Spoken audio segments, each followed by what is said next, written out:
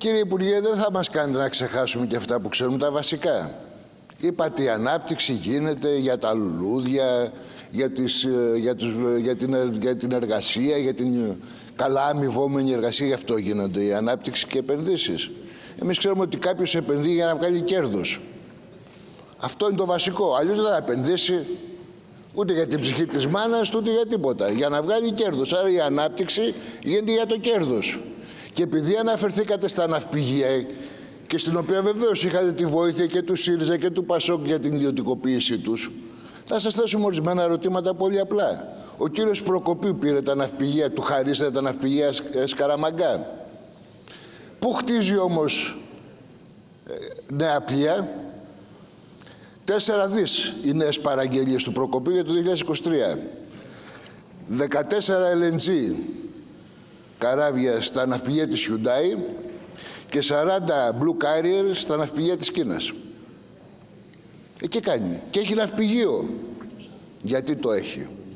Βεβαίως το έχει για τον Αμερικάνικο στόλο και τις επισκευές, στα πλαίσια των σχεδιασμών και της μετατροπής της χώρας σε προκεχειρωμένο ε, γεφύρωμα και δεύτερον στο να δημιουργήσει εκεί εγκατάσταση υγροποίησης αεροποίηση του υγροποιημένου φυσικού αερίου, του LNG. Για να ενταχθεί στους σχεδιασμούς του συνολικότερου. Ένα. Δεύτερον, εντηρήμη του λόγου, σας είπατε ότι μετά από απόφαση της Κομισιόν, δηλαδή και της ελληνικής κυβέρνησης, αυξήθηκαν τα τέλη άνθρακα. Με αποτέλεσμα να καταστεί ο λιγνίτη πολύ πιο ακριβώς. Αυτό λέμε κι εμείς. Ότι η ακρίβεια έχει ονοματεπώνυμο. Ευρωπαϊκή Ένωση Κυβερνήσεις. Και όλες όσοι το αποδέχτηκαν. Τεχνητά ο λιγνίτης λοιπόν είναι πιο ακριβώς, ενώ είναι χώριο καύσιμο, δεν εξαρτώμαστε από τους διάφορους υπεριαλιστικούς κινδύνους και όμως αυτόν προχωρήσετε σε απολιγνητοποίηση για να κάνετε ένα πανάκριβο ενεργειακό μείγμα. Και γι' αυτό δεν αναφέρεστε στα ζητήματα της ακρίβειας. Γιατί τι να πείτε, ότι ευθύνεται η κυβέρνηση για την πολιτική της Ευρωπαϊκής Ένωσης, ότι ευθύνεται η προηγούμενη κυβέρνηση ΣΥΡΙΖΑ και του ΠΑΣΟΚ, που αποδέχτηκαν όλες αυτές τις πολιτικές που έχουν οδηγήσει στην εκτείναξη της ακρίβειας. Γιατί ο διαχωρισμός τώρα πληθωρισμός απισές, ξέρετε τι μου θυμίζει; Η άλλη με τον πληθωρισμό της εγκράτειας δηλαδή.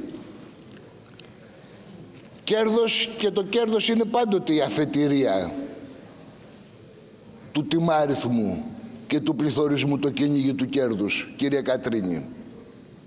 Και με αυτά τα ημίμετρα τα οποία λέτε, όχι μόνο δεν αλλάζει η κατάσταση, αλλά καλύτερη και αυτά πάτε στον κόσμο. Ότι μπορεί ενδεχομένως, ποια θέση να βελτιωθεί; Με την ακρίβεια να καλπάζει; Τώρα, αν καλπάζει με ρυθμούς 5%, 4,5% άλλαξε κάτι. Χάνει. Και πάλι θα εξακολουθεί να χάνει ο λαός. Αν δεν συγκρουστούμε με τα πραγματική αιτία του ζητήματος της ακρίβειας που είναι οι πολιτικές τις οποίες έχετε εφαρμόσει όλοι σας. Και τέλος, να θυμηθούμε και το εξής κύριε Υπουργέ, για τα ναυπηγεία Ελευσίνας, το έτερον. Ε, γιατί καλές θέσεις εργασίας, έτσι. Διαγράψατε το δώρο του Πάσχα που έπρεπε να καταβάλει η εταιρεία. Και η μισθή πολύ κάτω